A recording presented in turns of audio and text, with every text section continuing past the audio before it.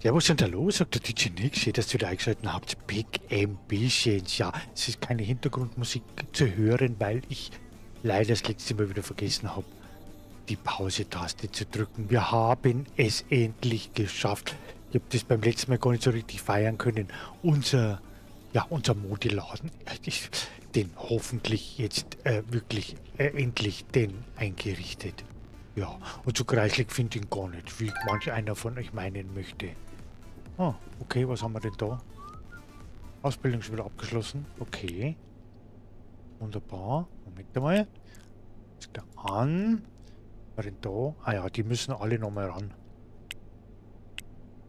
Die müssen...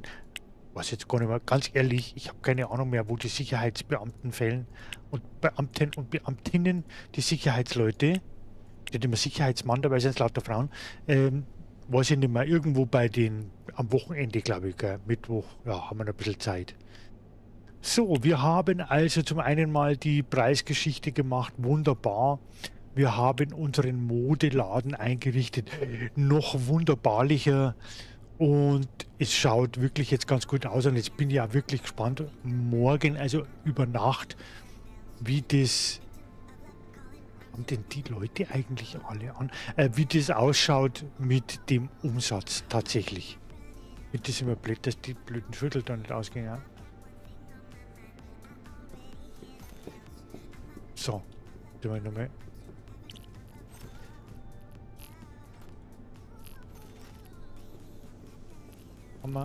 Schau jetzt gerade mal. Ja, es ist alles drin und die in der Mitte. Ah, der da rechts, der steht in der Fäden. Oder machen wir das einfach so. Genau. So, dann haben wir den, steht jetzt auch noch drin. Was sagt denn eigentlich zur Sicherheit hier im Modeladen? Durchschnittlich. Und was haben wir an Diebstahl? 90 Dollar. Ich glaube, das können wir verschmerzen. Da bin ich entspannt mit dem 90 Dollar. So, äh, wir schauen, wir sind wie nicht passend gekleidet in einem kleinen kleine Modehaus, in einem exklusiven, ist natürlich nichts. Deswegen fahren wir jetzt nach Hause. Äh, müssen wir schauen, ob wir einen Sport machen müssen. Wie schaut es aus mit unseren Personals? Ja, Training ein bisschen machen, genau, Trainingssache mal schauen. Und dann sind wir ganz gespannt auf den Umsatz.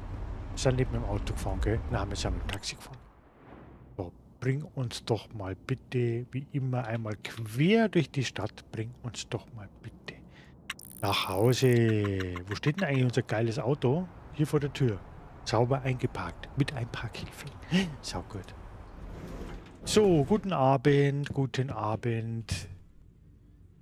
Machen wir noch ein bisschen Training. Wir gut dabei sind. Hier noch ein Stündchen Laufband. Tut immer gut. Machen wir nochmal ein bisschen flotter hier. So, was sagt der jetzt? Training, 19 Stunden übrig. Hm, dann noch ein bisschen Klimmzügel. Ein Stündchen. Oh.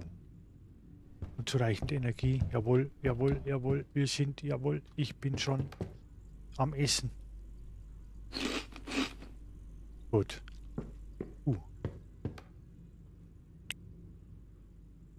Ja. Äh, wunderbar.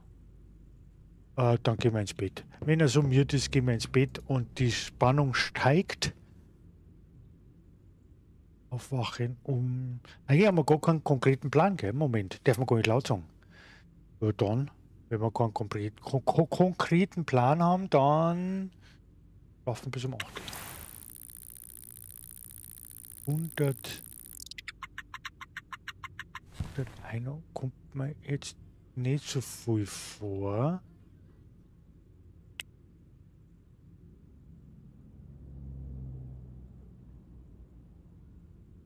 Wo hapert es da?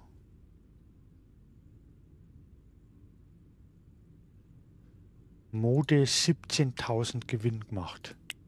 Also, äh, da darf es eigentlich gar nicht ganz hapern. Schaut gerade mal.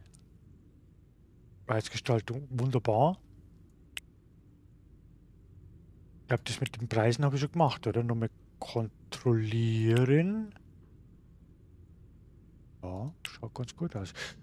Ist mir jetzt vom Bauchgefühl, ich merke es mir jetzt nicht immer, Aber ist mir jetzt vom Bauchgefühl irgendwie ein bisschen wenig vorkommen mit dem Umsatz. Aber es schaut alles ganz gut aus. Schauen wir mal nochmal im Economic View. 110, 111, nö, aber es ist ungefähr immer gleich. Und doch, wir haben mehr sogar gemacht, oder? Ja, durch diese Preiserhöhungen haben wir nochmal ein bisschen was rausgehaut. Ja, wunderbar.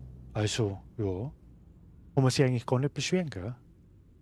Gut, dann können wir wirklich langsam, nein, können wir nicht. Jetzt wollte ich gerade sagen, wir können den Blick nach vorne. Wir haben jetzt noch eine kleine Baustelle, nämlich diese Geschichte mit den Grafikdesignen. Ja.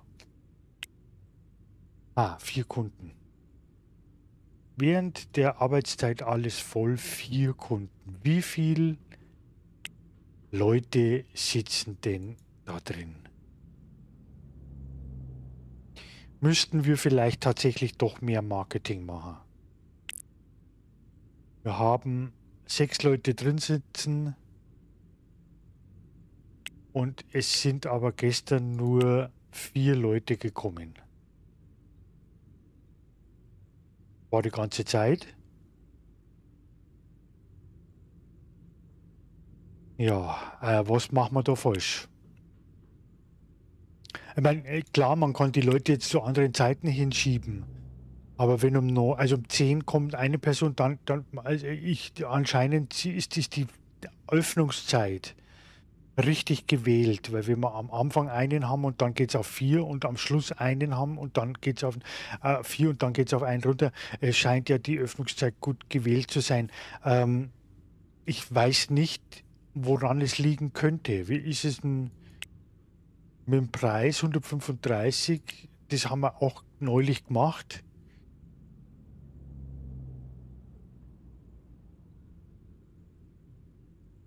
Weil ich könnte jetzt die Leute auf dem Samstag, auf Samstag, Sonntag aber da haben wir ja auch schon zwei. Oder würde es was bringen, wenn wir die in der Zeit verschieben? Dass wir zwei Schichten machen? Kann man das irgendwie gar nicht vorstellen, dass das was bringt. Kann man das echt nicht vorstellen. Wir können es ja mal probieren. Wir machen das jetzt mal folgendermaßen.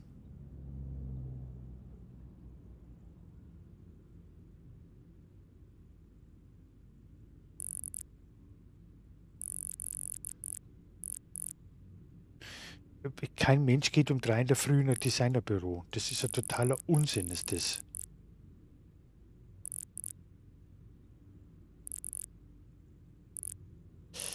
Also weiß ich im Moment keinen sonderlichen Lösungsansatz, ganz ehrlich. Ich mache es jetzt wieder zurück, weil es für mich keinen Sinn macht. Äh, wenn um gestern Kunden im Laufe der Zeit Verstehe jetzt auch nicht. Ist es der Tag, aber es sind ja nicht. Also doch, es sind 35 Kunden gekommen, oder wie? Ähm, 35 Kunden.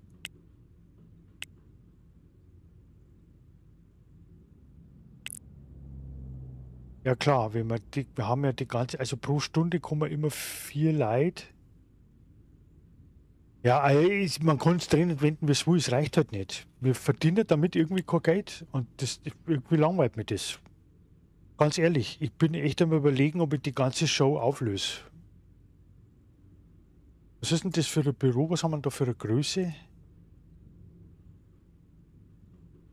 Naja, weil das ist ja eben nur ein Büro, kein Laden, ne, in dem Sinn. Oder sehe ich das richtig?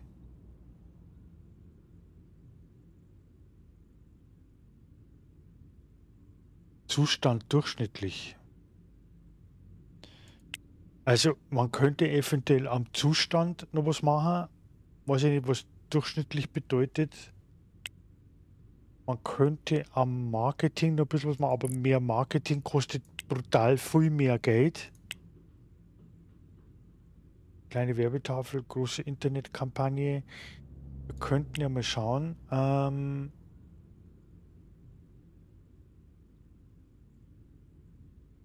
Design. nehmen wir noch eine mittlere im Internetkampagne. 250 kann man sich durchaus leisten.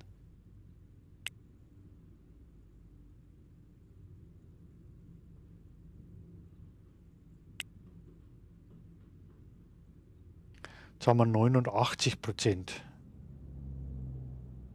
Und wenn wir jetzt 80 noch eine kleine dazu nehmen.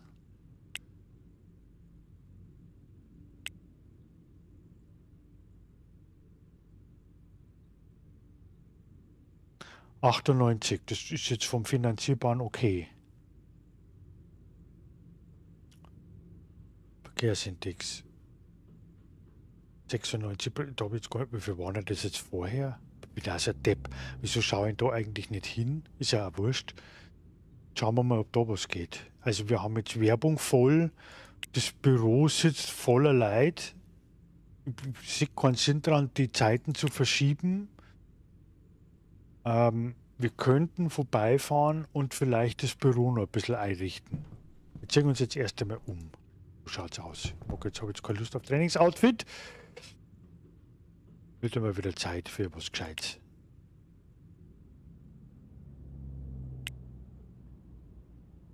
So.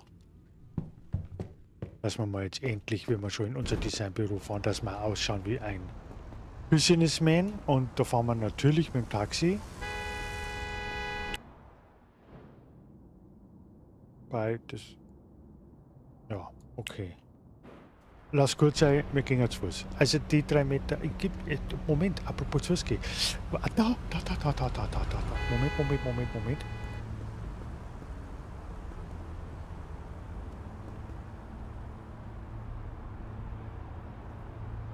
Was muss ich da machen?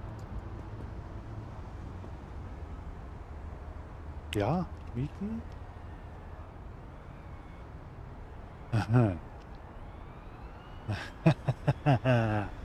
Okay, finde ich witzig.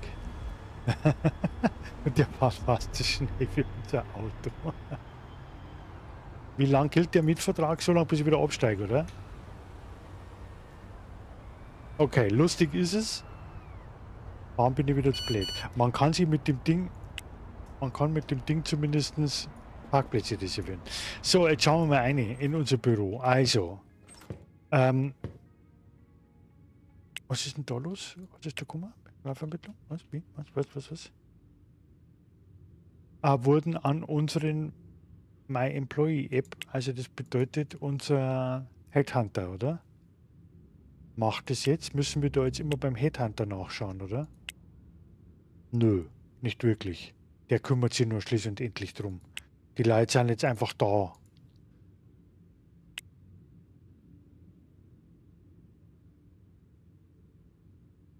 Oh. Naja gut, aber die sind halt null ausgebildet, gell? Das ist ja Wahnsinn. Ach, da sieht man, wer es rekrutiert hat. Aber die waren halt alle wahnsinnsbillig, gell? Zwar, wie viel das sind. Ja, krass. Wo, wie günstig? Das ist ja der Wahnsinn.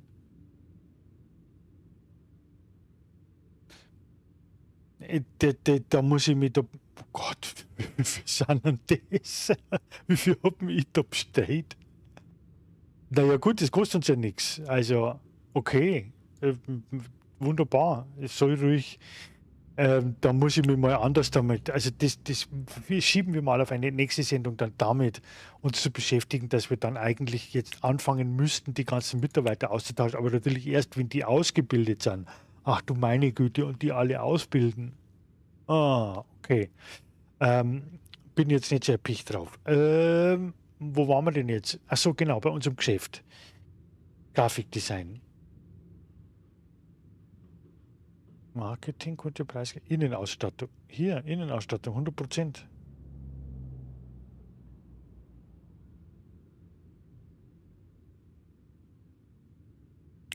Dann weiß ich nicht, was er da angegeben hat, von wegen durchschnittlich.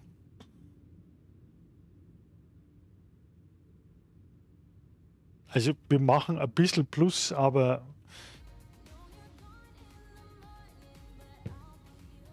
Und ich finde es auch nicht so kreislig.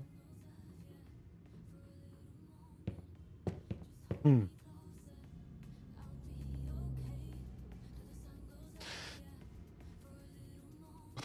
Äh, ich kann nur so lange nachdenken, ganz ehrlich, ich habe keine Idee.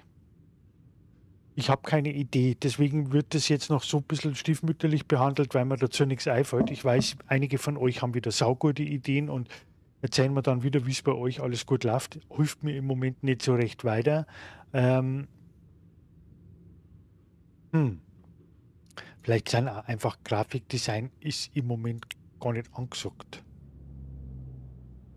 Nachfrage, Martini, Haarpflegeprodukte. Anwaltshonorare. Ja, Stundengebühr für Programmierer 31 Prozent.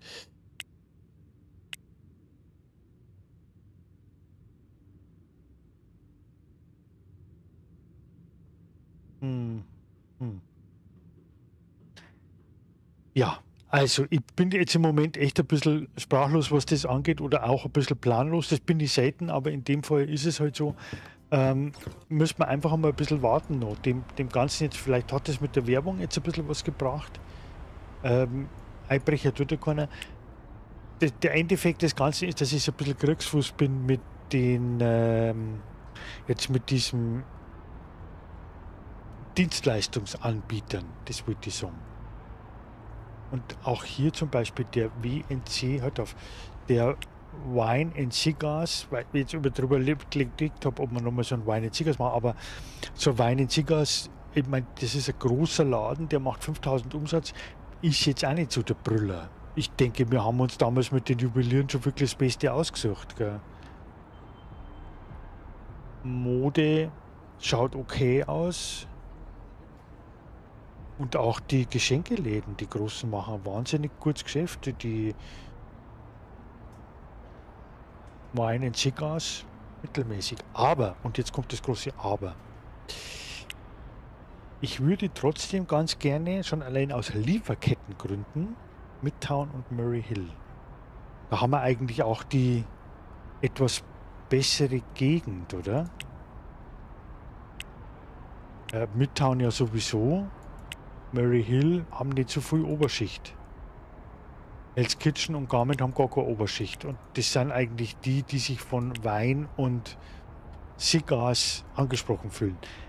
Dann wäre vielleicht die Möglichkeit, Arbeiterklasse im Garment District einen neuen Modeladen aufzumachen. Und zwar, ihr würdet es schon erraten, genau, einen, wo es billig Kleidung gibt.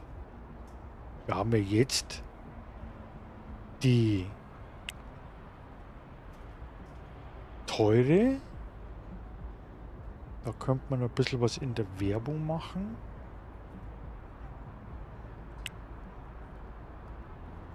Ähm, Mode exklusiv eine mittlere Internetkampagne 250, das mache ich jetzt mal. Dann sind wir nämlich auch da fast bei 100. Haben wir drei Internetkampagnen. Gut, vielleicht können wir da auch noch ein bisschen was raus. 250 Umsatz finde ich jetzt in Ordnung.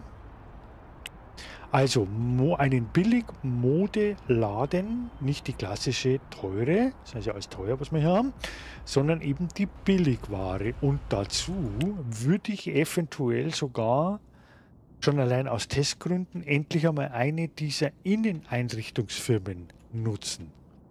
Ich habe mal, für die, die länger zuschauen und das wissen, habe ich einmal so eine Sendung gemacht äh, zum Thema eben einen Laden in drei Tagen. Wenn das klappt mit den Inneneinrichtern, und da fällt mir jetzt gerade was dazu ein, dann sollte das ja eigentlich binnen einen Tag machbar sein. Aber was braucht man? Genau, man braucht Mitarbeiter. Und das wiederum bedeutet, wir müssten eigentlich sofort Kundendienstler einstellen und auf Ausbildung schicken. 10, 12, 14, 16, da gingen die Preise nach oben und dann auch die Ausbildung, Kundendienst. Oh, die verlangen aber auch nicht so viel, sind aber schon wesentlich besser ausgebildet. Naja, wobei, der geht es um einen Tag. Ne? Der macht ja 10% am Tag. Also kannst du wirklich die 10% nehmen und das sind die billigsten.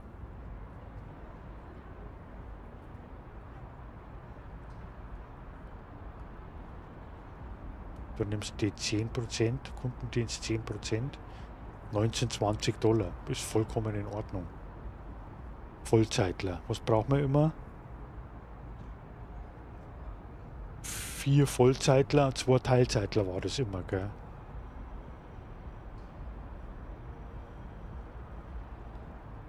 Und alle haben keine extra Wünsche. Dann würde ich sagen, stellen wir die mal ein, bevor wir uns jetzt Gedanken machen über den nächsten Laden. Wie viel kann denn unser, habe ich neulich glaube ich schon mal nachgeschaut, das Gott, wie viel kann der noch aufnehmen?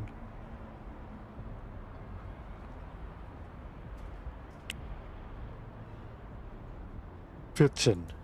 Wunderbar. Wären noch zwei Läden, A6 Mitarbeiter. Zwei große Läden wohlgemerkt, aber da müsste man großen machen.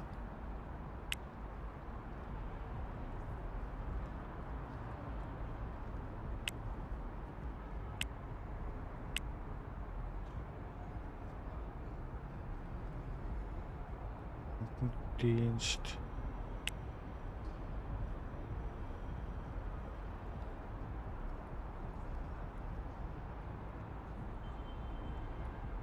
Hm, spinne jetzt?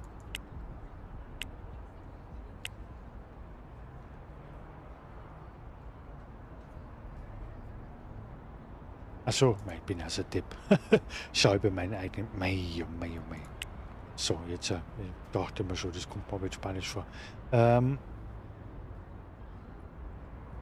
ja, mach mal.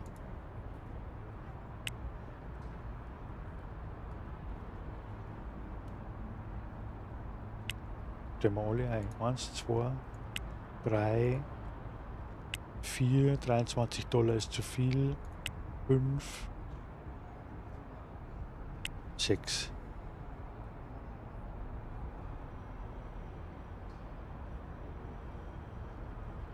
Ja.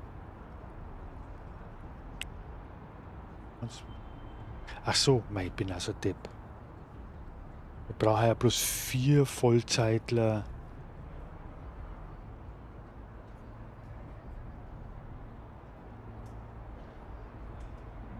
Ist wurscht. Die bilde jetzt einfach mit aus. Ich, das lasse mir das jetzt kosten.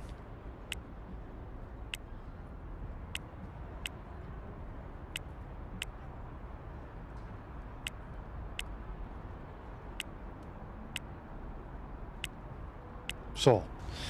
Und jetzt können wir uns Gedanken machen. Also einen, einen günstig Modeladen in Garment District. Der ist wo? Der ist hier. Okay. Wir werden, wie sich das für einen Anständigen gehört, erst einmal kurz checken. Garment District. Nachfrage.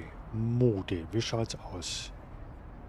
Moderne, preiswerte Kleidung. Steigend. Wunderbar. Bei 50 Prozent. Ist nicht viel, aber steigend ist gut.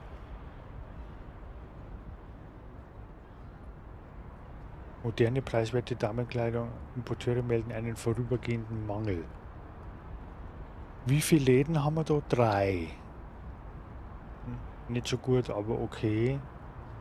Disco gibt es noch gar keine, aber okay. Ob zwei oder drei, glaube ich, macht jetzt nicht so viel Unterschied. Manchmal gibt es sogar schon fünf, neun Läden. Also, gut, würde ich jetzt machen. Ich lasse mich da ein. Ich, mag das einfach machen. Fertig. Also brauchen wir im Garmin-Distrikt ein Einzelhandel. Und zwar, wenn es geht, einen großen. Und den wird, da haben wir ja schon. Wunderbar. Und mit 50 Verkehrswert ist es auch noch, die haben alle 50 Verkehr. Das ist unser Auto. Mal eh noch die drei. Der vielleicht noch. 49 würde genauso gehen. Perfekt. So. Einzelhandel. Bin jetzt echt gespannt. Das ist jetzt schon wieder so eine Testphase. Da kriegen wir es in der Ausgabe noch hin, deswegen tue ich jetzt gar nicht lang rum. Ähm, Imbissmen öffnen. Das ist ja super günstig auch. Ach, das ist immer das Haus, verstehe, was der Zustand. Da, das habe ich vorher gesehen. Durchschnittlich, da kann ich mir überhaupt nichts dran ändern.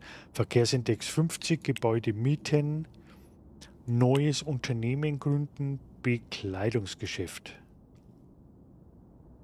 Und das ist dann Mode. Und wie nennen wir das jetzt? Günstige Mode. Das eine ist exklusiv und das andere ist dann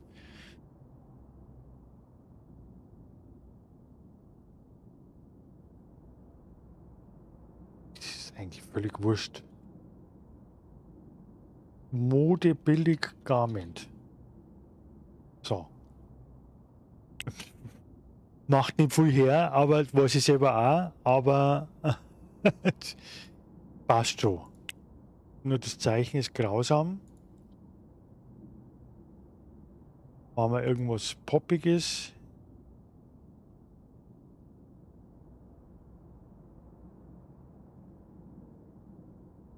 So, passt. Ja, auch mit dem Ding, mit dem Hemd. Das ist wunderbar. Mehr will ich gar nicht.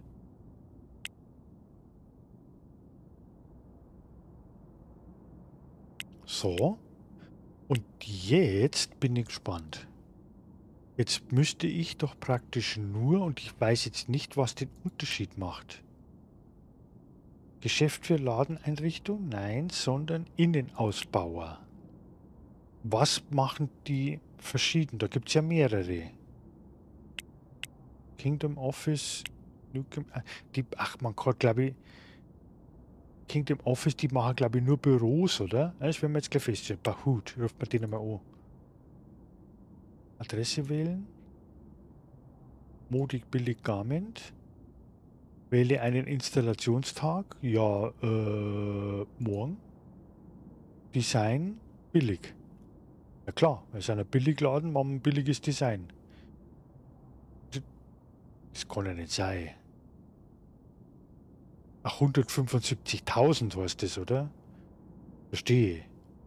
175.000, nicht 175,8. Und was ist teuer? 180.000. Äh, Moment. Das sind nur 5.000 Unterschied. Na dann teuer. Bestätigen. Da bin ich jetzt echt gespannt. Ohne Schmarrn. Akzeptieren Sie, dass wir die gesamte vorhandene Innenausstattung des Gebäudes verkaufen? Ja, ja, ja, mach, mach das mal. Wir beginnen am Tag mit der Installation Ihrer Inneneinrichtung. Bitte beachten Sie, dass die Adresse erst um Mitternacht erreichbar ist. Um Mitternacht wann? Wenn der Tag vorbei ist.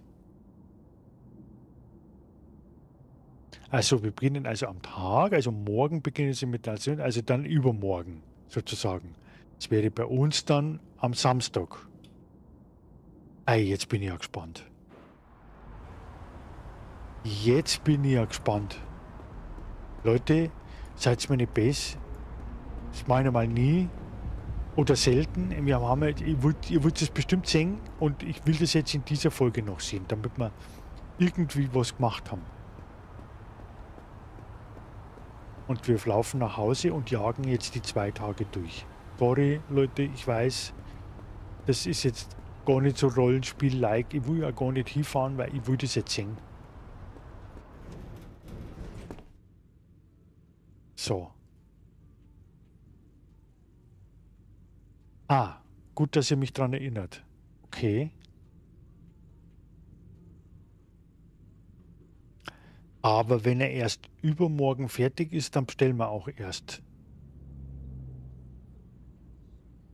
Denken die an alles, an Kassen, an Einkaufskörbe, an... Ich bin so gespannt jetzt, ohne Schmarrn. Ähm, was machen wir? Da haben wir uns völlig umsonst angezogen. Wir ziehen wieder unser Sportoutfit an.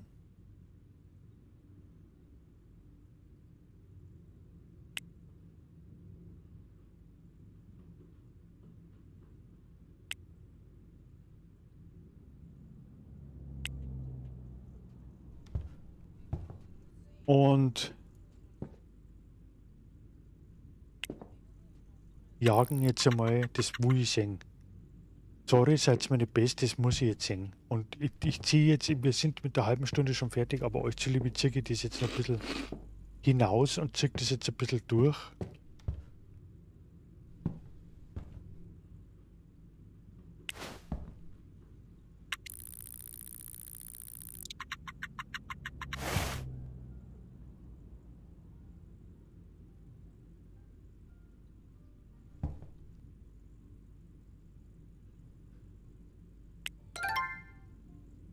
Gut. Um ein bisschen was muss man sich kümmern. Ganz so schnell geht es doch nicht.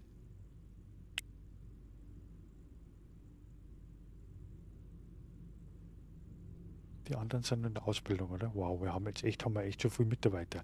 Wisst's noch, als wir angefangen haben?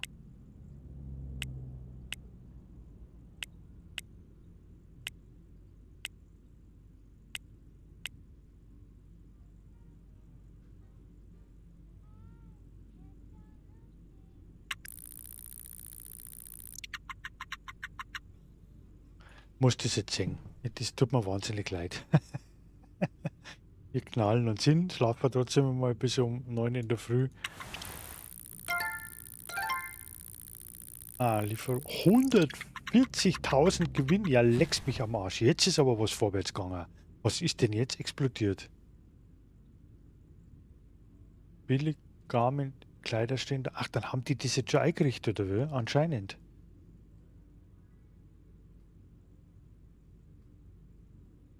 Ah, jetzt haben wir das Problem. Der hat das natürlich jetzt nicht nur für billig eingerichtet. Ja, das müssen wir dann, da müssen wir dann selber Hand anlegen. Der hat es für alle eingerichtet. Teure, klassische, der hat es echt für alle eingerichtet. Okay, gut, aber das ist ja, so lernt man dazu. Habe ich nicht bedacht. Was ist los? Die Installation für das Gebäude ist abgeschlossen. Ach komm, echt, ihr seid fertig. Das ist ja geil. Und jetzt? Äh? Fahren wir gleich hin. Fahren wir gleich hin.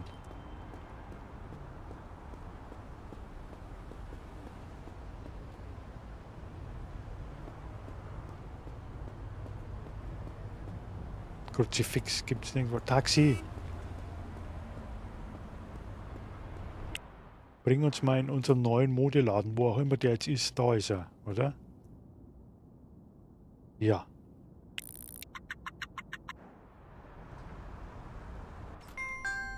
Ach, das ist ja abgefahren. Schaut euch das an.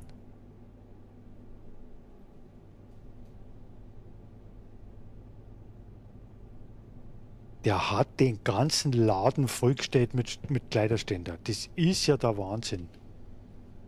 Also es schaut ziemlich cool aus. Hier, Überwachungskameras sind da. Er hat bloß keine Lampen aufgehängt, aber ansonsten Regale sind da. Drei Stück, anscheinend 3 HD. Für Wachmann ist da. Die Kassen sind da. Das ist ja echt abgefahren. Was nicht, die Einrichtung schaut cool aus. Ich bin schwer begeistert.